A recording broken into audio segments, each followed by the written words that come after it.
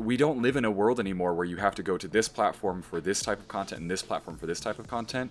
Instead, it's about the app that everyone's on, making that express all forms of content instead. So you can go to Instagram now for links to outside things. You can go to Instagram for your videos, for short form videos like Reels, for stories, um, which is the new Snapchat. So everybody's kind of becoming a conglomerate of all these types of content um, as opposed to people being so specialized, right? Yeah, definitely. The one thing though that I'm seeing is like people there it's a kind of like two sides of the coin. Like some people love that and some people hate that.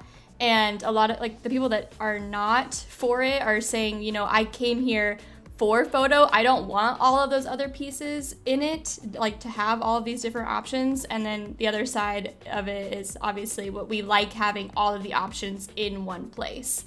So it's interesting to see how this push is going to even affect that more so because they're going to be prioritizing video content. They're going to um, push that in your feed. And actually, what they even said as well is the um, Instagram reels. Like, even if you're not following someone, you're still going to see their reels in your feed because it's another way for people to find you now. And they're like, again, trying to push that. So it could be a really awesome thing because you can grow because people that aren't following you are going to see these videos but it's only awesome if you are making the videos.